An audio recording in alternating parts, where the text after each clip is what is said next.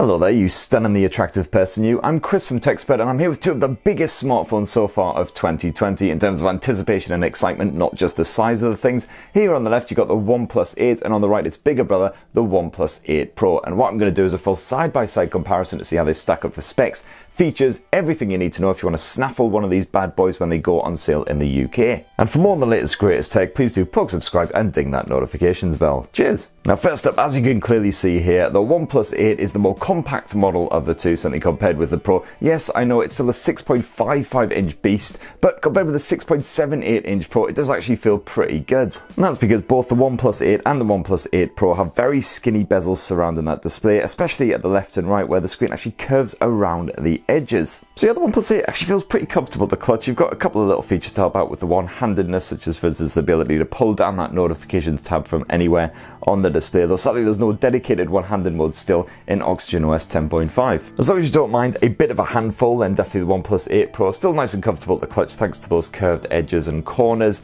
and it's got a bit more heft to it at 199 grams compared with 180 gram OnePlus 8. Beyond the dimensions, the OnePlus 8 and the OnePlus 8 Pro are very similar in terms of the design, apart from one key difference which you can't actually see. So they're both constructed front and back from glass. It's actually Gorilla Glass uh, to provide an extra bit of hardiness. Here in the UK, you can pick them up in a couple of different hues. This is the glacial green version of the OnePlus 8 and the OnePlus 8 Pro. As you can see, that sports a matte, almost metallic style finish, which is great for hiding greasy prints and things like that, and should hopefully prove nice and hardy over time as well. You can also pick it up in a mirror black version if you prefer a shiny, glossy finish to your smartphones. However, while OnePlus assures us that the OnePlus 8 is fully water resistant, it'll be absolutely fine if you take it out even in the middle of a hailstorm, whatever you fancy. The OnePlus 8 Pro is actually the very first OnePlus branded handset to sport an IP rating. It's IP68 water and dust resistant, so basically you can rock it in the jacuzzi, the swimming pool, wherever you fancy. Besides that, the rest of the design basically the same. You get the alert slider, power combo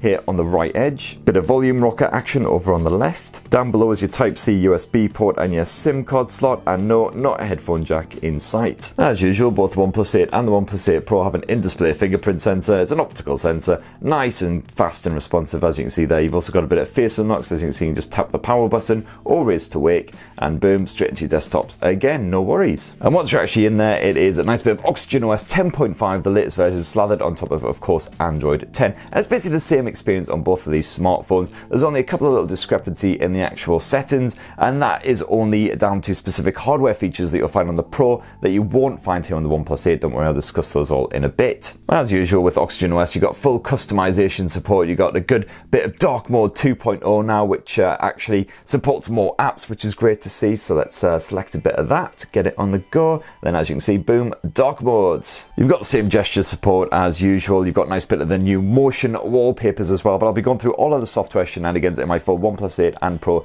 tips and tricks guide, so go check that out. Now, the other area that really sets these two smartphones apart is definitely that display tech, and I'm not just talking about the size of the thing either. Now, both of these screens are what OnePlus terms fluid AMOLED displays, though, of course, OLED tech, although you only get full HD resolution here on the OnePlus 8 compared with the Quad HD Plus resolution on the OnePlus 8 Pro. I say just, of course, a full HD resolution is still absolutely fine for getting a nice crisp image. You have to sort of get in close and really compare them side by side to notice the difference. You've got HDR10 Plus support on both of these blows as well, so supported content on the likes of Netflix, Amazon Prime Video, and the like looks absolutely stunning. Nice sharp contrast, natural looking colours. And speaking of natural colours, both of these OnePlus handsets have a JNCD, a just noticeable colour difference score of 0.4. I never even heard of JNCD before OnePlus clued me in on this. It sounds very impressive indeed. Certainly, colours do look very natural in pictures that I've taken. They seem to shine through, look just as they did in real life. Another difference is with the actual refresh rate. You've got a maximum 90 Hz refresh rate here on the OnePlus 8. Here on the OnePlus 8 Pro, it's a 120 Hz max refresh rate.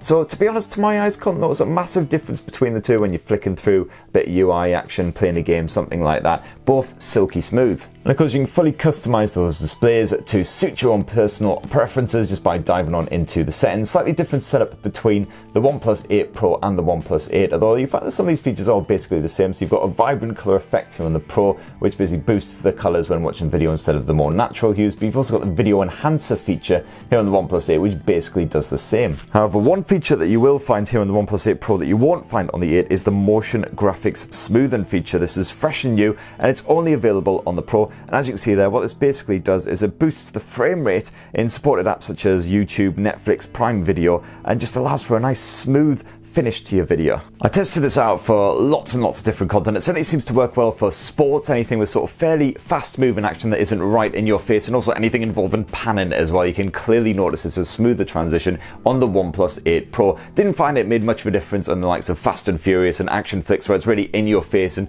everything's moving so fast anyway, you can't really tell what the hell's going on half the time. And yes, as you've no doubt noticed by now, there is a pinhole camera housed in the top left corner of that display on both the 8 and the Pro. It's a dinky little affair though, barely intrudes on the action even when you go full screen, so I wouldn't worry about it. And you can knock it off, hide it in the settings if you really want to. And no worries on the brightness front with both the OnePlus 8 and the OnePlus 8 Pro, they are positively eye searing on that maximum level, so visibility even in bright sunshine not a problem. The only other bit of display shenanigans that's worth mentioning before we move on to something completely different is the 240Hz touch response rate here on the OnePlus 8 Pro, which I do not believe is in the OnePlus 8. They certainly did not mention it in the spec sheet. As for the audio, well, it's a stereo speaker output here on both the OnePlus 8 and the OnePlus 8 Pro with Dolby Atmos support as well. Both very loud, uh, super great clarity on those top volume levels. I'd say the Pro is slightly louder than the OnePlus 8, but there's not much in it. Both will certainly do the job for watching a bit of movie, TV, whatever, in a very noisy environment like a kitchen. You don't have a headphone jack, but you do have Bluetooth 5.1 support for a reliable wireless connection. As the rest of the specs, there's not actually much difference between these two handsets at all. You get the Snapdragon 865 chipset packed into both of them, backed by either 8 or 12 gigs of RAM. So of course, super top-end premium performance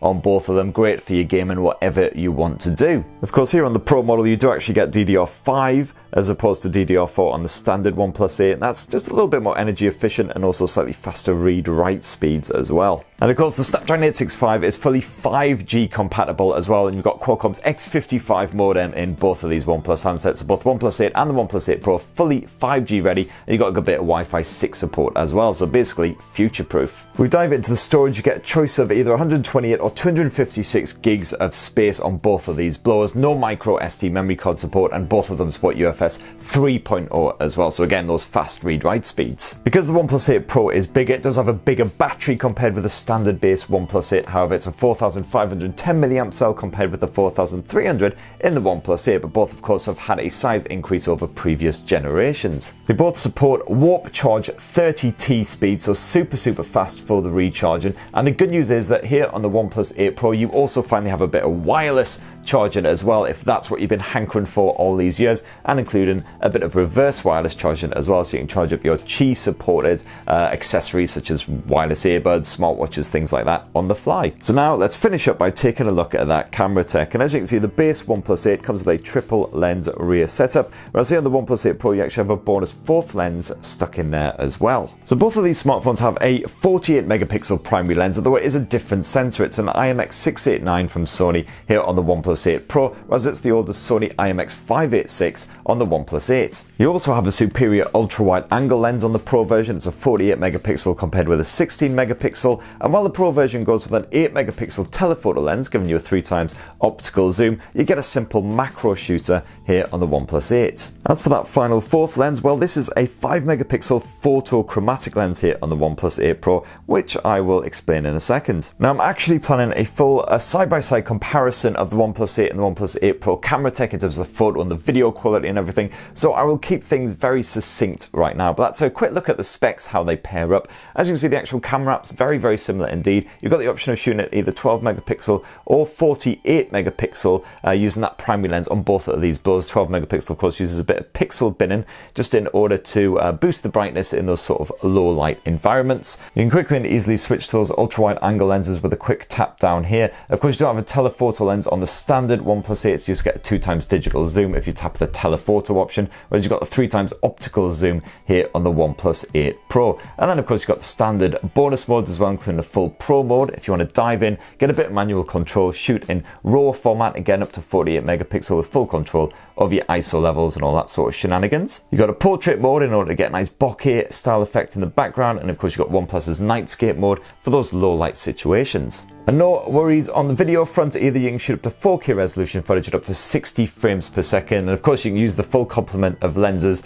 uh, here on the OnePlus 8 Pro as well. You can also swap to that ultra wide angle lens here on the standard OnePlus 8. Although, as you'll notice here on the OnePlus 8 Pro, you also have an HDR option now, uh, which you don't get on the standard OnePlus 8, just to help out with those high contrast scenes, help you get a more balanced uh, final bit of footage. As I mentioned before, OnePlus 8 has a macro lens, basic 2 megapixel effort to shoot macro shots if you're really into your pictures of ladybugs and woodlice. Otherwise, the OnePlus 8 Pro goes in a completely different direction with its photochromatic lens, which basically drains the color from your shot while retaining texture and things like that. It's very interesting. We probably get quite arty effects with it. Uh, so I'll certainly be testing that out in full. Not entirely sure it's going to go particularly mainstream, but maybe some Instagrammers will get a kick from it. And then, of course, if you swap to the front facing lens, you get a 16 megapixel shooter on both of these blowers uh, for capturing a lovely picture of your slightly fucking going crazy, I'm stuck indoors face. Uh, so that's great. And you can swap to the portrait mode for that as well. Again, nice bit of bokeh action. You shoot up to full HD video,